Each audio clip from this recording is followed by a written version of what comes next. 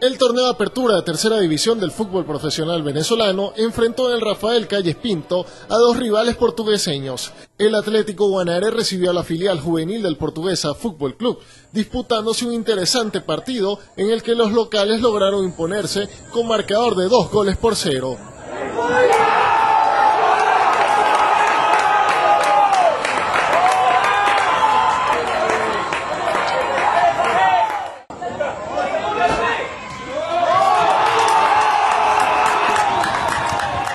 Un partido muy intenso donde ambas oncenas pues salieron fue a ganar, precisamente más que todo el portuguesa, pues que venía de una derrota, ¿verdad?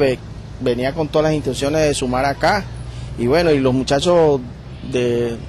Club Atlético Guanares, pues que también están enfocados, ¿verdad?, en la victoria y,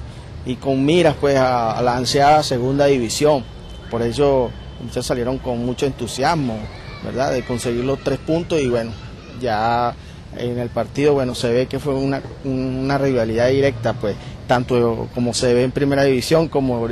ahorita en tercera. Primeramente, gracias a Dios, pues me dio la fuerza de, de encarar a ese jugador y así pude sacar buen remate hacia el arco y hice un gol